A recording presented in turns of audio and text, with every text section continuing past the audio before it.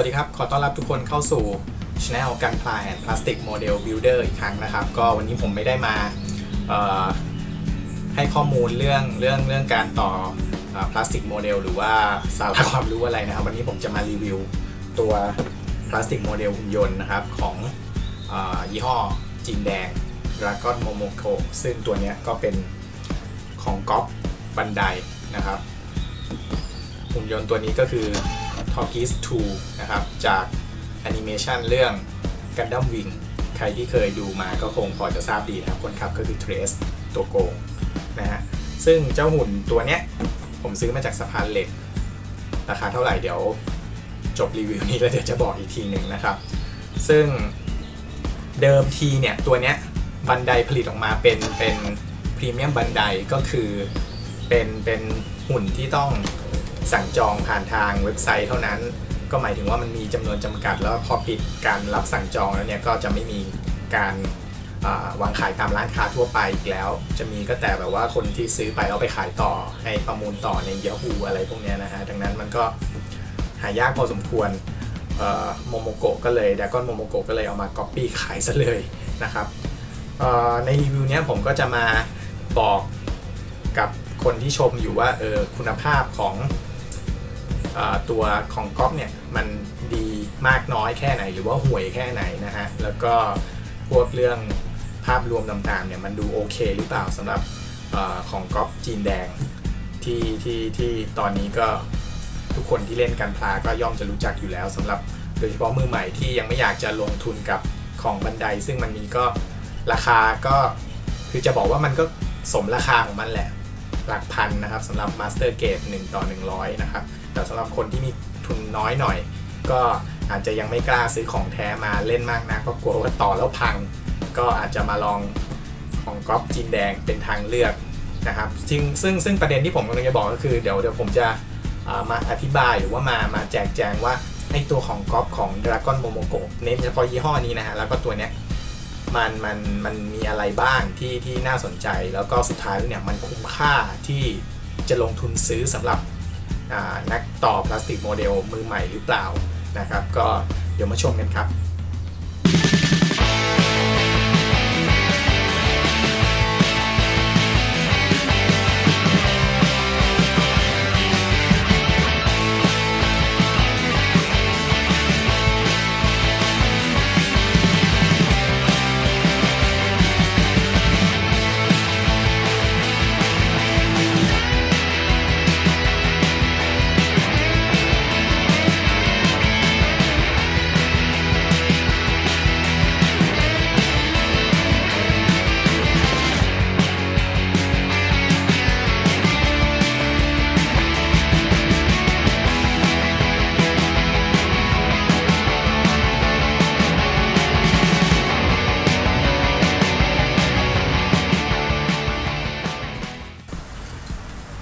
จากที่ผม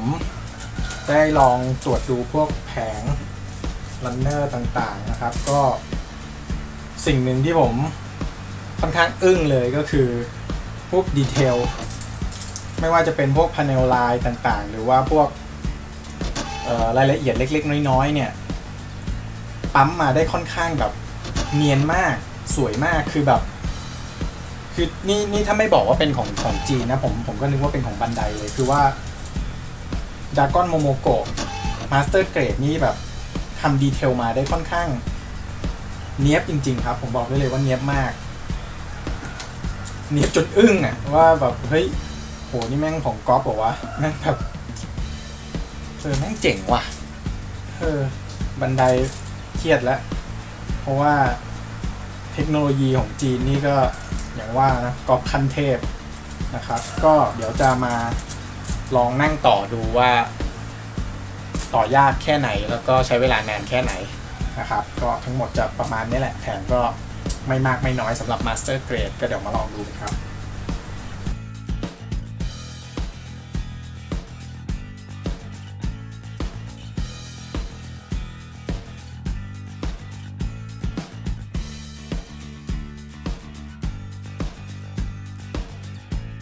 ก็จากที่ต่อมาประมาณ 2 ชั่วโมงก็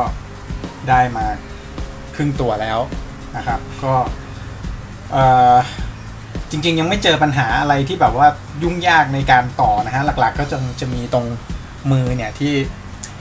มันมันมันติดกันยากหน่อยพอดีมันเหมือนกับว่าไอเดือยตรงตรงปลอกปลอกมือเนี่ยสนับมือตรงเนี้ย มันจะดันมือตรงเนี้ยให้หลุดออกมานะครับ ก็เลยประกบ แน่นๆไม่ได้ประกบแน่นแล้วเด้งหลุดออกมาก็เลยต้องคาไว้เบาๆไว้ก่อนนะฮะส่วนใหญ่ก็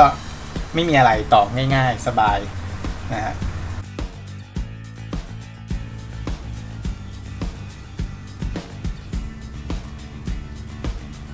ก็เป็นอันเสร็จเรียบร้อยนะครับสำหรับ t o r g i s 2 ของ Dragon Momoko นะครับ ก็ผมก็ใช้เวลาต่อไปประมาณรวมๆแล้ว ก็ไปทำนั่นทำนี่ด้วยก็สี่ห้าชั่วโมงพอสมควรนะครับ ก็จากการต่อเนี่ยโดยรวมๆแล้วก็ไม่ได้ยากอะไรนะครับ ก็ค่อนข้างจริง ๆ แล้วถือว่าค่อนค่อนข้างต่อง่ายด้วยซ้ำนะครับ ไม่มีจุดอะไรที่มันต้องลำบากอะไรมากนัดอุดขันจริงก็น้อย ส่วนใหญ่จะเป็นการคว้านรูที่มันเล็กเกินไปซะมากกว่านะฮะก็ แต่ปัญหาของมันก็คือที่เจอก็คือ ไอ้ t o r g i s 2ตัวเนี้ย มันเป็นหุ่นยนต์ที่ค่อนข้างอ่อนโยนนะครับ ก็คืออ่อนแอด้วยแหละ คือยืนด้วยลำแข้งตัวเองไม่ค่อยได้นะครับ เพราะว่าข้อต่อของมันเนี่ย โดยเฉพาะช่วงขากับเอวเนี่ย อ่อนมากก็คือกว่าที่ผมจะจับตั้งยืนได้เนี่ย ผม ผมใช้เวลา จัดท่าเนี่ยไม่ต่ำกว่า 10 นาทีนะครับพอจับยืนปุ๊บเนี่ยล้มเลย เพราะมันจะไปหนักไอตัวแบ็คแพคข้างหลังเนี่ยแบ็คแพคที่อยู่ตรงนี้นะฮะจะหนักมาก แล้วก็คือมันจะดึงให้หลังแอนลงไป เป็นพวกหลังแอนอีกนะฮะแต่ว่าภาพรวมเนี่ยก็ค่อนข้างโอเคเลยพวกดีเทลแล้วก็อาวุธจริง ๆ อาวุธเนี่ยมันมี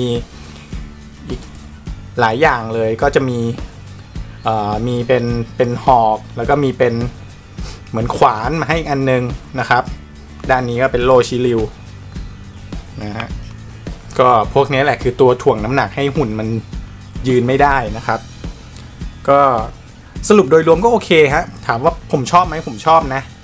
เพียงแต่ว่าปัญหาก็คือพวกข้อต่อตรงเท้าแล้วก็เอวเนี่ยแหละที่แบบ อ่อนไปหน่อยยืนไม่ได้อะไรพวกนี้ต้องจัดท่าดีๆ หรือไม่ก็ต้องหาหาเบสมาตั้งเอาไว้ ถ้าอยากจะแอคชั่นถ่ายรูปเท่ๆนะครับ คงไม่มีอะไรเพิ่มเติมและรีวิวตัวนี้สำหรับ Dragon Momoko สำหรับราคาที่ผมซื้อมานะครับ ผมซื้อมาจากแถวสะพานเหล็ก ก็ไม่เกิน 600 บาทสำหรับใครที่คิดว่าออยากจะหา Master Grade มาลองต่อเป็นตัวแรกนะครับ ตัวนี้ก็เป็นอีกหนึ่งตัวเลือกที่น่าสนใจเหมือนกัน เพราะว่าต่อไม่ยากเท่าไหร่ ชิ้นส่วนก็ 21 แผงเท่านั้นเองนะครับ โดยรวมๆก็ถือว่าคุ้มค่าครับ ถ้าถามผมคุ้มค่าไหมผมว่าคุ้มค่าเลยทีเดียวนะครับสำหรับคนที่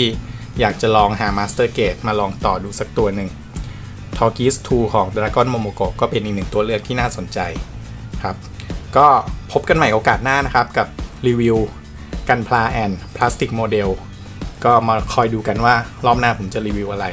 วันนี้ก็ขอลาไปก่อนแล้วกันนะครับ สวัสดีครับ